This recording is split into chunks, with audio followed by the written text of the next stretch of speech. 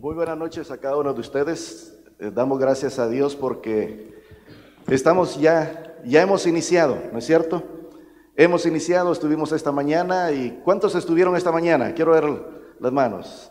Ahora, ¿cuántos de nuestros hermanos invitados especiales están aquí esta noche? Quiero ver los que están invitados, que no vinieron en la mañana, pero están con nosotros esta noche. Hay varias manos, sean bienvenidos. Bien, el título del tema de esta noche es Un grito en la soledad. Un grito, ¿en qué dijimos? En la soledad. Ese es el título del tema para esta noche. Y quiero invitarles para que esta oportunidad vamos a abrir las Sagradas Escrituras. Pero, gracias pastor, muy amable. Era el verano de 1980, una mañana muy calurosa un día que había sido muy caluroso, y en esa ocasión se nos relata la historia de esta mujer llamada Judith Bugmel. ¿Algunos de ustedes escuchó hablar acerca de esta mujer, Judith Bugmel? La historia, ella fue asesinada el 9 de junio de 1980 en la ciudad de Miami. Y en esa ocasión prácticamente era una mujer con 38 años de edad que pesaba 100 libras y que podríamos decir que hubiese sido un asesinato más, una noticia más de una persona que hubiera sido asesinada y que hubiera pasado en forma inadvertida si no hubiese sido porque el reportero del diario de Miami encontró el diario de esa mujer, donde ella llevaba su registro de todos los días. Y ahora se dieron cuenta de la situación que esta mujer estaba viviendo. Una mujer prácticamente que era una secretaria ejecutiva, tenía, podríamos decir, su apartamento frente a lo que es la bahía ahí, ¿verdad? En Miami, donde podía tener una hermosa vista hacia el mar. Era una mujer que vestía ropa de marca, una mujer prácticamente, diríamos, de la clase social alta. Sin embargo, el diario, expresaba lo que había en su corazón, la necesidad y el vacío que ella tenía, y aparecían algunas notas, ¿verdad? Como estas. Ella escribe en su diario, ¿dónde están los hombres con qué dice? Con las flores, la champaña y la música. ¿Dónde están los hombres que llaman y piden una cita verdadera y genuina? ¿Dónde están los hombres que quisieran compartir conmigo algo más que mi cama, mis bebidas y mi comida? Y luego sigue diciendo, me gustaría tener en mi vida, antes que pasar por ella, la clase de relación sexual que es parte de una relación de amor. ¿Saben ustedes? Ella sigue escribiendo, ¿quién va a amar a Judith Bumel? Me siento tan vieja y sin amor, sin nadie que me quiera. era abandonada, se sentía abandonada, usada y ella quería, ella decía, quiero llorar, quiero sentarme y llorar amargamente por la situación en que yo me encuentro. Aunque no era una mujer prostituta, tuvo 56 amantes en 59 meses. Y no era una prostituta. Pero una mujer con un vacío en su corazón. Estoy sola, decía ella. ¿Y qué más decía? Quiero compartir algo. ¿Con quién? Con alguien. Aunque estuvo rodeada de muchos amigos, rodeada de muchas personas, se sentía sola, se sentía abandonada. Y ella decía, eh, me siento vieja. Me siento acabada, me siento rechazada, pero esa es la triste realidad de no solamente ella, sino muchas personas más que nosotros encontramos en la sociedad. Que quizá nosotros podemos pensar en algún vecino, en alguien, algún compañero de trabajo, y como dice un dicho muy común que dice cara vemos y que dice, y corazones no sabemos, ¿no es cierto? En esta oportunidad no vengo a hablarles de esta mujer. Pero sí vengo para que podamos hablar de la enseñanza que nos presenta la palabra de Dios de otra mujer que hace dos mil años atrás, en los días de nuestro Señor Jesucristo, se encontraba en una situación muy similar a la de esta mujer. Y este caso es un caso típico. de lo que vive la humanidad en este tiempo, como vamos a ver dentro de un momento en el tema de esta noche. Quiero invitarles a abrir las Sagradas Escrituras en el Evangelio de San Juan, en el capítulo 4, donde encontramos nosotros este relato y esperamos que todos tengamos las escrituras a nuestra mano, tengamos una Biblia y si alguien no tiene, el que está, quizá el que está a la par puede compartir, ¿verdad? La lectura. Pero dice la palabra de Dios, San Juan capítulo 4 nos dice las Sagradas Escrituras, versículo 1. ¿De quién nos está hablando este pasaje? ¿Quién, eres, ¿Quién es esta mujer? ¿Quién es esta mujer? La mujer samaritana. ¿Qué nos dice la palabra de Dios? Versículo 1 dice, versículo 3, perdón. Dice la palabra de Dios, salió de Judea y se fue otra vez a donde dice, a Galilea. Y era, le era necesario pasar por donde dice, por Samaria. Versículo 5 dice, fue pues a una ciudad de Samaria llamada Sicar, junto a la heredad de Jacob que Jacob le dio a su hijo José. Y estaba allí el pozo de quien dice, de Jacob. Entonces Jesús, cansado del viaje, se sentó junto al pozo, era como la hora sexta. Versículo 7. Llegó una mujer de Samaria a sacar agua y Jesús le dijo, dame de beber. Pues sus discípulos habían ido, dice, a la ciudad a comprar alimentos y la mujer samaritana le dijo, ¿cómo tú, siendo judío, me pides a mí de beber que soy mujer samaritana? Porque judíos y samaritanos que dicen no se tratan entre sí. Respondió Jesús y le dijo, si conocieras el don de Dios, ¿y quién es el, que te dice, dame de beber? Tú le pedirías y él te daría, ¿qué cosa? Dice, agua que agua viva. La mujer le dijo, Señor, no tienes con qué sacarla. Y el pozo es hondo. ¿De dónde pues tienes el agua viva? ¿Acaso eres tú mayor que nuestro padre Jacob que nos dio este pozo del cual bebieron él, sus hijos y sus ganados? Jesús le contestó, cualquiera que bebe de esta agua volverá a tener que dice sed. Pero el que beba del agua que yo le daré no tendrá sed jamás, sino que el agua que yo le daré será en él una fuente de agua que salte para qué dice, para vida eterna. La mujer le dijo, Señor, ¿qué le dice? Dame de esa agua para que no tenga yo sed, ni venga aquí a sacarla. Y Jesús le dijo, ve, llama a tu marido y ven acá. Respondió la mujer y dijo, no tengo marido. Y Jesús le dijo, bien has dicho, porque cinco maridos has tenido.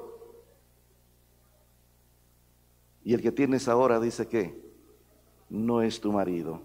Esto has dicho con verdad. Quedémonos allí con el relato de la historia. ¿Qué nos dice la palabra de Dios? Dice las Sagradas Escrituras que el viaje de Jesús, Jesús dice, salió de dónde? De Judea y se fue otra vez a dónde? Dice, a Galilea. Ahí está el mapa que queremos ver. ¿Saben ustedes que Judea está aquí en la parte sur y Galilea está allá en la parte norte? Para poder ir de Judea a Galilea tenía que pasar por Samaria y ese camino llevaba tres días, porque no había vehículos, no había aviones, sencillamente a pie o en una bestia, un, un caballo o un burro. Tres días. Pero nos dice la palabra de Dios que judíos y samaritanos no se llevaban entre sí. Así es que la mayor parte de judíos, ¿qué era lo que hacían? Ellos preferían no pasar por Samaria y preferían ir dar la vuelta y entonces ellos iban y cruzaban acá el río Jordán, subían por este lado y luego daban la vuelta y, llegaban a Galilea. Y eso le llevaba seis días de camino. Pero preferían caminar los seis días antes que pasar por dónde? Por Samaria. Pero nos dice la palabra de Dios que ahora Jesús nos dice que a Jesús le era necesario pasar por dónde? Por Samaria. ¿Por qué le era necesario a Jesús pasar por Samaria? Dice la palabra del Señor que Jesús había salido y luego había caminado toda esa mañana y a la hora sexta de ese día llegó junto al pozo de Jacob y se sentó allí. Dice las Sagradas Escrituras que Jesús estaba cansado en su vida humana, en su humanidad, él se cansaba, él tenía sed, él lloró, sus sentimientos estaban también, formaban parte de su ser, era un ser humano, pero a la misma vez era el Dios encarnado, ¿no es cierto? Pero Él se hizo hombre para que nosotros, para poder entendernos y no solamente entendernos y conocernos en nuestras debilidades y necesidades, sino también para darnos salvación y darnos vida eterna y salvar nuestras familias, nuestros hogares, salvarlos de la quiebra, salvarlos del problema que pueda tener, salvarnos y darnos vida eterna. A Jesús le era necesario pasar por Samaria. ¿Por qué le era necesario? ¿Cómo? Por una sola persona. Porque él sabía de esa mujer. Nadie se lo había dicho. ¿Quién se lo había dicho? Su padre. Sabían la necesidad, el vacío, la soledad, el sufrimiento, el dolor que había en el corazón de aquella mujer, aquella mujer samaritana. Y entonces él sabía que él iba a ser una bendición para esa mujer. Y por lo tanto se hace cita y se sienta junto al pozo de Jacob a esperar que esa mujer llegue.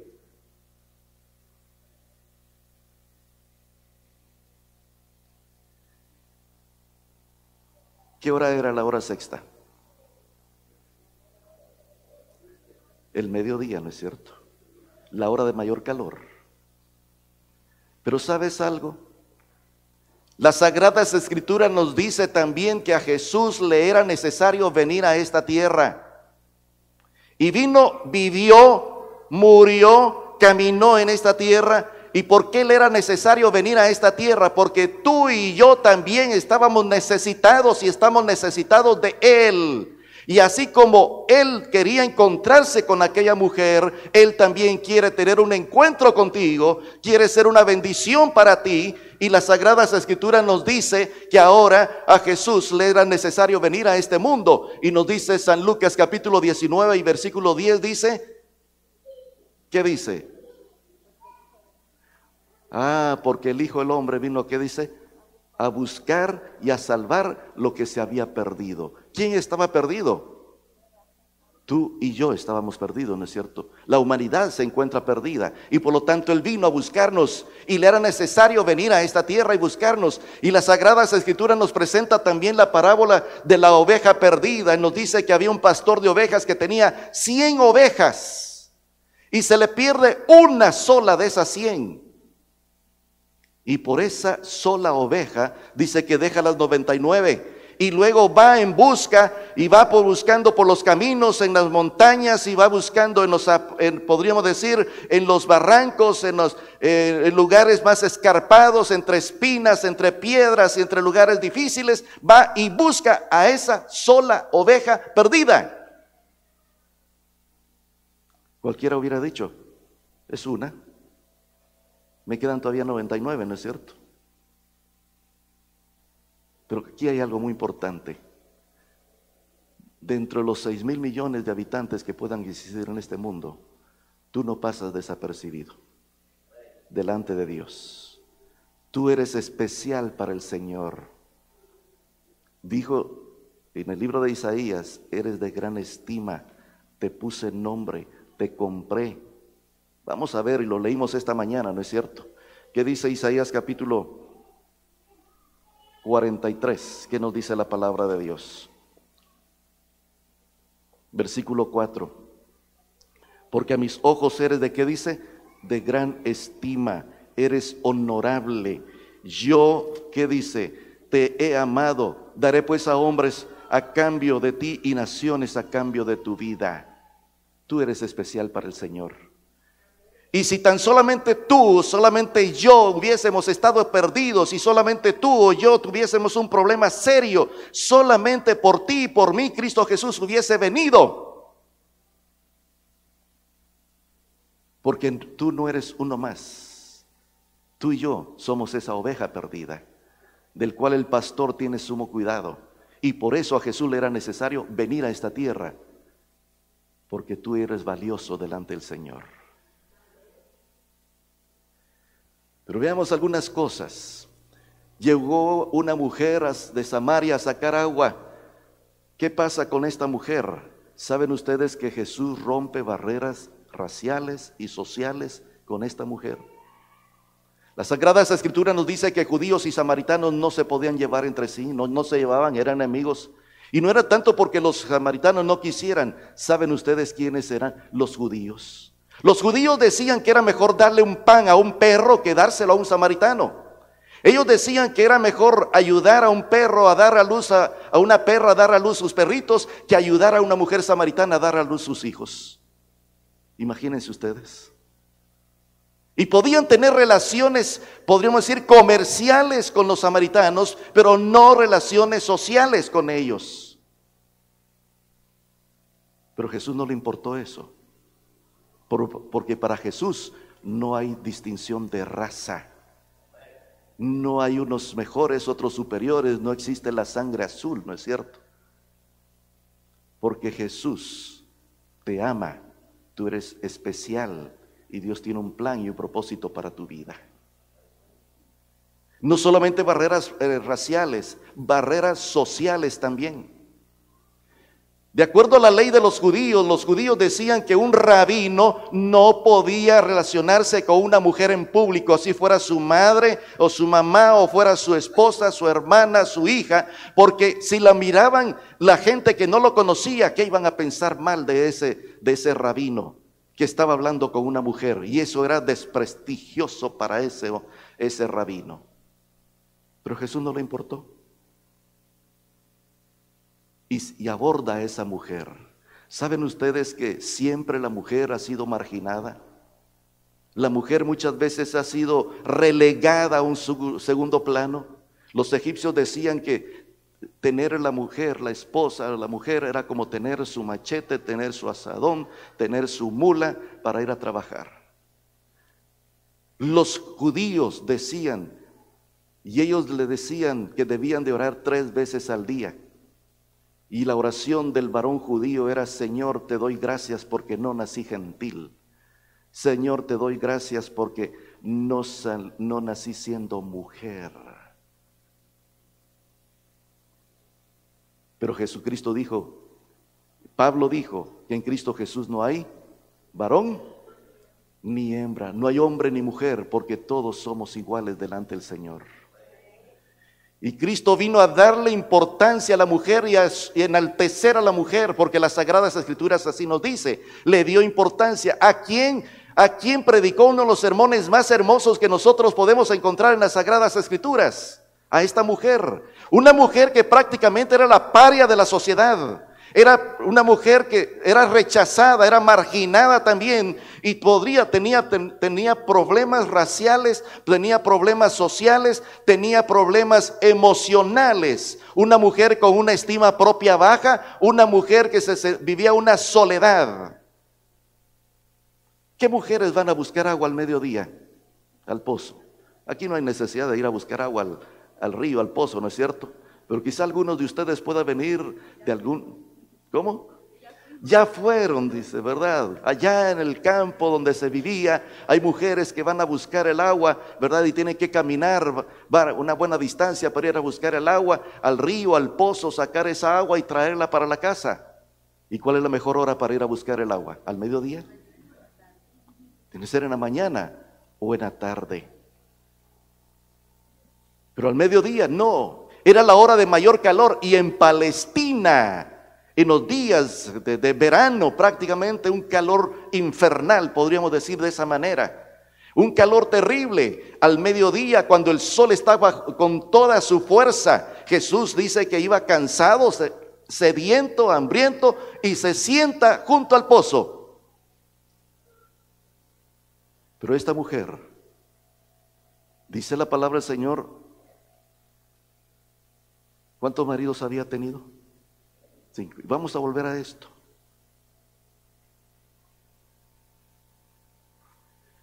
Una mujer que no quería encontrarse con nadie más de su, de su, de su ciudad, de su pueblo, porque era motivo de crítica. La veían venir y entonces ella veía que todas comenzaban a murmurar, a criticar y comenzaban a, a cuchuchear entre ellas. Y cuando ella venían, veían que ella venía, se apartaban y se alejaban de ella porque no querían relacionarse con ellas.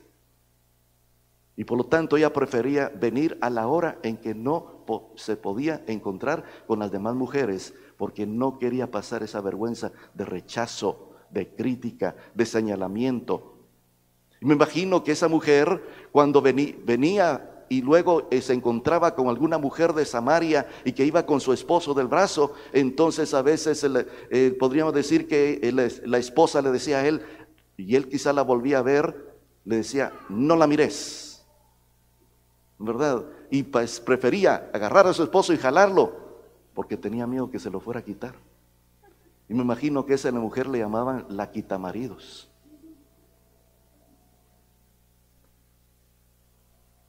¿Cómo podía sentirse ella? Con su estima, propia, ¿por qué? Por los suelos, rebajada. Y no digo autoestima, se habla mucho de autoestima, ¿no es cierto?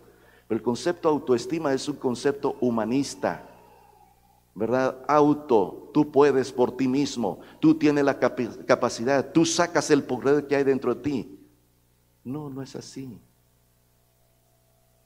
Jesucristo dijo, sin mí, que dice, nada podéis hacer. El poder no lo da quien? Cristo Jesús. Sigamos viendo algo más de esta mujer. Su estima propia por los suelos tenía un vacío existencial. Saben ustedes que los psicólogos hablan mucho acerca de los problemas eh, eh, sociales, morales, eh, mentales que tiene el ser humano. Y hay varias escuelas de psicología. Por ejemplo, Sigmund Freud, él decía, y con, el psicoanálisis, él dice que el problema del ser humano es una frustración sexual. En otras palabras, el hombre es un lleno de instintos sexuales y que eso es lo que mueve su vida. No es eso. Adler, otro psicólogo, decía que el problema del ser humano es un vacío de poder. Y por lo tanto no tiene poder y tiene que conseguir ese poder. Y ahí surgió el humanismo. Pero Víctor Frankl, creador de la logoterapia, dice que el problema del ser humano que vive en la actualidad es un vacío existencial, una frustración existencial, en el cual el ser humano no sabe de dónde viene, hacia dónde va, porque está acá, no sabe cuál es el propósito de su vida, no, es decir, ha perdido el sentido de la vida y la vida no le encuentra sentido. Y esta mujer no le encontraba sentido a su vida.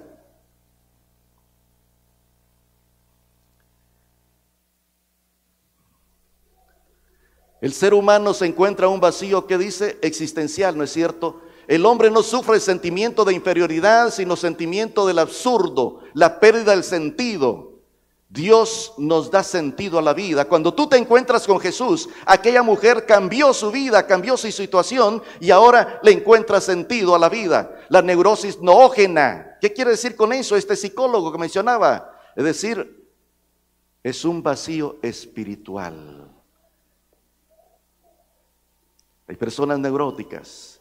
Depresión noógena le llama también él. Pero avancemos con la historia porque el tiempo nos avanza. ¿Qué nos habla acerca de esto la palabra de Dios? Dice las Sagradas Escrituras, hablando acerca de esto, que esta mujer estaba, como dice, sola. Tú puedes escuchar el, el grito de soledad que se puede dar. Las Sagradas Escrituras nos habla acerca de cuán importante es que nosotros no tenemos por qué sentirnos solos y abandonados. Pero ¿cuántas mujeres hay que viven en un hogar donde un hogar es vacío, un hogar donde hay problemas, un hogar donde todo el tiempo el esposo está fuera y él no le dedica tiempo y se siente sola? ¿Qué de aquellas mujeres divorciadas, viudas también que viven una soledad? ¿Qué seres humanos también que se pueden encontrar en la cárcel de igual manera que quizá nadie les visita, su familia los ha olvidado y viven una soledad? ¿Saben ustedes que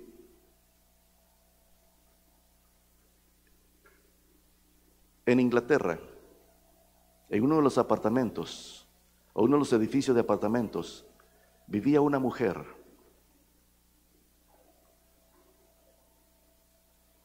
y nadie se dio cuenta de lo que pasaba con esa mujer. El encargado de los apartamentos, aquella mujer ya tenía tres años de no pagar su apartamento. Y después de tres años va a tocar al apartamento y nadie abre. Él va y coge sus llaves y cuando entra, encuentra en la sala aquella mujer tirada que hacía tres años había muerto. Las bolsas que ella llevaba de las compras estaban todavía al lado de ella. Y todos los vecinos decían, es que nosotros escuchábamos siempre la televisión encendida. ¿Por qué tenía todo el tiempo la televisión encendida? Tres años. Y nadie había notado su muerte. ¿Cómo te sientes tú? Adolescentes que dicen, a mí nadie me quiere. Sienten que sus padres no los aman. Pero sin embargo, Dice Salmos 27, 10, ¿qué dice el salmista allí en la, palabra de Dios? ¿Qué nos dice el salmista? Salmo 27, 10, ¿qué dice el salmista? Aunque mi padre, ¿y cómo dice? Vamos a verlo. Aunque mi padre y mi madre me dejen, ¿qué dice? En todo que dice Jehová que me recogerá. John, tú no estás solo, no estás sola, sientes que quizá tus padres no te quieren, que los demás no te aman, hay alguien que sí te ama. O sientes que quizá tu esposo, tu familia te ha dado la espalda, te sientes solo, abandonado. Hay alguien que sí está al cuidado tuyo y está esperando que tú puedas tener un encuentro con él. Nos sigue diciendo también, eres de gran estima, ya leíamos ese pasaje, pero ahora la palabra de Dios nos dice que llegó a ese lugar para buscar qué cosa, buscar agua. Nos dice las sagradas escrituras que para esta mujer su vida es una vida rutinaria. Todos los días iba al mediodía, iba al, al pozo, llenaba su cántaro y cuando regresaba a la casa, por un tiempo estaba lleno ese cántaro, pero luego se vaciaba y tenía que volver, ir y venir todos los días a llenar el cántaro al pozo y aquella era una vida rutinaria. No tenía con quién conversar, no tenía con quién compartir su vida, se sentía sola. ¿Cuántos matrimonios viven una rutina también? No le encuentran sentido a su matrimonio no le encuentran el sabor del matrimonio. Y viven esa rutina por una soledad, viven esa rutina y viven porque están casados y no tienen otra alternativa y sencillamente viven una vida desdichada, infeliz, porque hay un vacío en su corazón. No hay un sentido de propósito y de propósito en ese hogar, en ese matrimonio. Pero la palabra de Dios nos dice, aquella mujer había tenido cuántos maridos? cinco maridos. Y pasó con aquella mujer como pasa con muchas en nuestro tiempo también. Sin duda en su etapa de adolescencia saliendo, creció en un hogar donde tampoco había amor, quizá había maltrato, y eso pasa en muchos hogares. Hay muchachas que prácticamente están maltratadas en su casa porque el papá es un castigador, es un abusador, es un maltratador, y luego no se encuentran desesperadas, no hayan la hora de salir de esa casa, de esa situación infernal que están viviendo, y entonces llega el momento cuando se aparece el primer muchacho y este dice, este es mi salvación. Me va a sacar de aquí y me va a dar amor lo que no tengo aquí en la casa. Y se da cuenta de pronto que ese muchacho no le dio amor tampoco. Y pasa con mucha frecuencia. Y luego aquella madre, o podríamos decir aquella esposa que encuentra y que espera que encontrar amor, se da cuenta que ese esposo no le da amor porque más bien la utiliza, es una mujer utilizada, una mujer manipulada y sencillamente quizá muchas veces maltratada. Y dice, la, dice quizá esa esposa, al tener hijos yo voy a ser feliz. Pero vienen los hijos y tampoco eso le hace feliz. Cinco maridos. Y el que ahora tenía, que dice? No era su marido. Este me va a dar amor. No, me, no le dio. El otro, el otro, iba por el sexto y se encontró con el séptimo. ¿Y el séptimo quién era? Jesús. Y Jesús marcó la diferencia. Querido hermano y hermana, Jesús marca la diferencia en tu vida. Jesús marca la diferencia en tu matrimonio. Tu matrimonio va a cobrar sentido, tu matrimonio va a tener, podríamos decir, ese ambiente de amor, de cariño, de bondad, de, hermosura, de dulzura, de felicidad, porque Cristo es quien marca la diferencia. Y por eso dice la palabra del Señor, volvamos al Evangelio de San Juan capítulo 4, nos dice las sagradas escrituras que aquella mujer llegó para sacar agua del pozo y Jesús le dice, dame de beber. Ya se queda asombrada y le dice, ¿cómo tú siendo judío me pides a mí que te dé de beber si nosotros no llevamos entre sí? ¿Saben ustedes que Jesús buscó la manera de llegar al corazón de aquella mujer? Si Jesús le hubiera dicho, cuando la mujer estaba sacando agua del pozo, le hubiera dicho, te ayudo, ¿creen ustedes que hubiese, hubiese aceptado a aquella mujer la ayuda de, de Jesús? No, pero le pide un favor y le dice, tú me pides un favor a mí, que eres un judío, Ustedes son creídos, engreídos, orgullosos. Aquí hay un secreto muy importante. ¿Cuántos matrimonios sencillamente se divorcian y fracasan por ese orgullo que hay en su corazón? No quieren dar su brazo a torcer. En una oportunidad llegó una pareja para buscar ayuda con su servidor, para buscar terapia. Y me dicen ellos, nosotros nos amamos, pero nos vamos a divorciar. ¿Cómo es posible? Amándose con planes de divorcio. Cuando el único que puede dar ese amor es quien? Es Cristo Jesús. Y el Señor le dice, si tú supieras quién es el que te dice, dame de beber, tú le pedirías a Él, dice, agua, agua, y yo te voy a dar agua viva que salte para vida eterna. ¿Estás tú sediento de amor? ¿Están tus necesidades emocionales no satisfechas? ¿Sientes que tu vida no vale nada? ¿Te sientes solo o, solo o sola o abandonada? Cristo Jesús es esa agua. Cuando tú tienes sed y llenar las necesidades emocionales, tu vida va a ser cambiada y transformada. Y la vida de aquella mujer cambió, ¿no es cierto? ¿O no cambió? Claro que sí.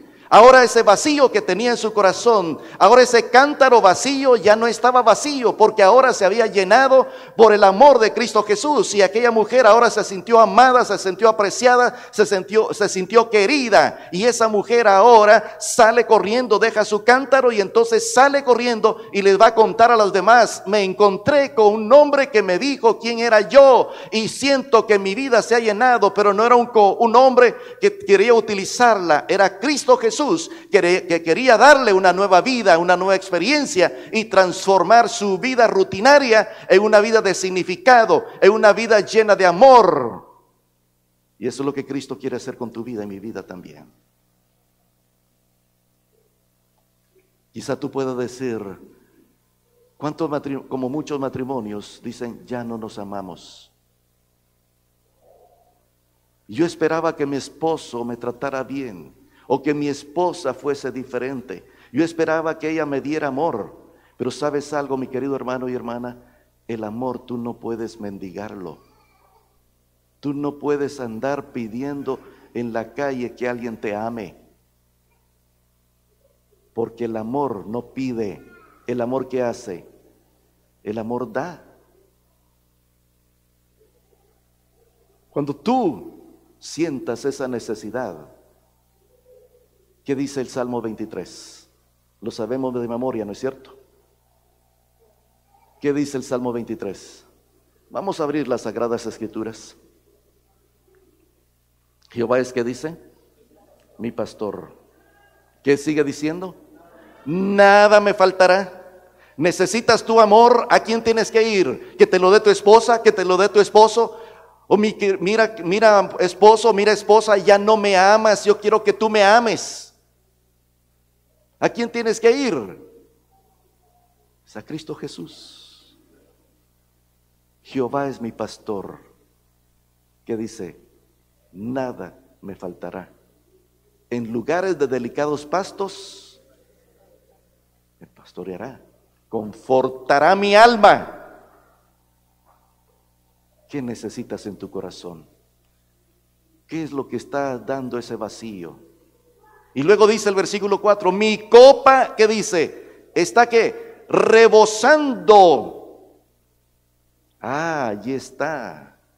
Cuando tú vas a Cristo Jesús y tu corazón está vacío de amor, tú tienes que ir al Señor Jesús para llenar esa copa, llenar ese cántaro, que Cristo llene tu cántaro, llene tu copa y ahora que lo llena y está, te sientes satisfecho, esa copa está rebosando y qué es lo que tú vas a dar entonces? No vas a andar pidiendo amor, sino que vas a estar dispuesto a dar amor. Porque ese es el amor que debe reinar en el matrimonio, un amor incondicional. Te amo no porque tú eres buena conmigo, porque tú me tratas bien, porque tú me atiendes. No, no es por eso. Te amo a pesar de. Porque ese amor solamente lo puede dar quién? Cristo Jesús. ¿Está tu copa rebosando? O quizá está vacía. Pero tú no puedes salir igual esta noche. Tú no puedes salir de la misma manera. Tú tienes que tener esta noche la experiencia de llenar tu copa en Cristo Jesús. Y cuando tu copa esté llena, tú vas a dar, dar y dar. Otra esposa me dice, otra pareja, me dice ella, estoy cansada de dar, ya no quiero dar más y no recibo nada a cambio. Pero cuando tú vas y tienes un encuentro con Cristo Jesús, Cristo está sentado junto al pozo, esperando que tú llegues a Él en esta noche. Para que Él llene tu copa y tu copa esté rebosando. ¿Quieres ir al Señor en esta noche? ¿Quiere decirle, Señor, llena mi copa? ¿Qué necesidad hay en tu corazón? ¿Te sientes solo? ¿Sientes que te hace falta amor? Ven a Jesús. Jesús llenará tu vida. Jesús hará un cambio en tu vida. Así como la vida de aquella mujer cambió, tu vida puede ser cambiada también. Pero aun cuando quizá nosotros hemos tenido cierto conocimiento de Jesús, Puede ser que en algún momento quizá nos sentamos que no tenemos tiempo para Jesús. Siéntate con Jesús, conversa con Jesús, habla con Jesús, ten esa relación con Jesús. Yo quiero hacer una invitación especial.